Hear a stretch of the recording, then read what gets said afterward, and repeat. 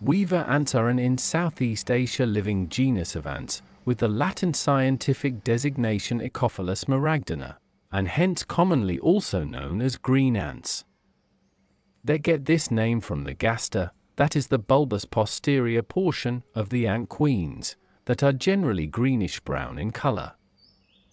Weaver ants communicate by releasing chemicals called pheromones that affect the behavior of the others. They use touch and make various gestures with their bodies to signal and pass on information, for instance, to indicate a food source or when in need to defend the colony.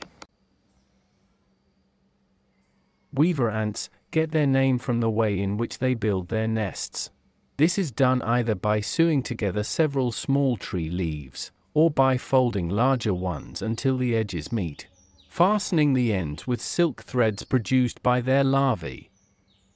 They first pull the ends and edges of the leaves together using their legs and mandibles, often with workers forming living bridges between the ends, until they are attached.